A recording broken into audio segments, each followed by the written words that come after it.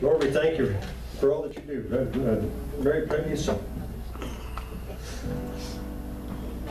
What a day that will be. What a day that was. And what a day there is that's coming. What a day it was when he died. What a day it was when he saved me. What a day it was when he called me.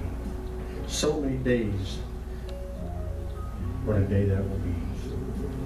Today is a day that, that you can receive Jesus Christ. Today is a day that you can say, you know what? I want to begin to live my life early in the morning. I want to give him my life. I want to walk in the truth.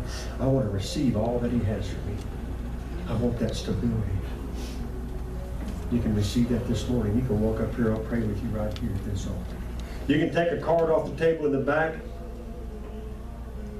You can call me. But make that decision. If you'll call on his name, he will take away all, pull you up out of the pits, out of the miry clay. He will set you on the solid rock. He will give you a foundation that doesn't come from this world. Would you trust him today? In his love we hide all day through.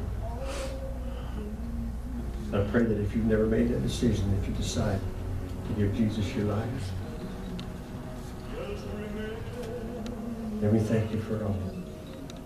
Lord, we thank you for each one that's here this morning. Lord, we thank you as you have blessed.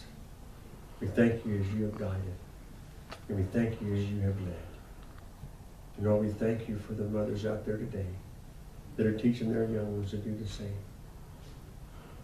Lord, we praise you and we give you thanks for it all in the name of Jesus.